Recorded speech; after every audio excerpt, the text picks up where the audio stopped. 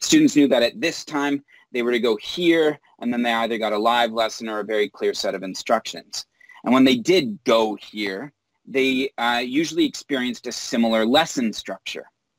It starts with a daily review or a weekly or a monthly review where the teacher checks what the students know already or what they remember from the previous lesson, gain, gaining valuable formative assessment information and exploiting the retrieval practice that Bruce mentioned.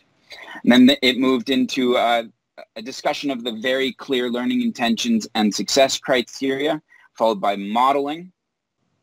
Um, and uh, then students were given time to complete the work during which the teachers were available to answer questions, followed by a plenary, which checks whether or not students have learned what was said at the start.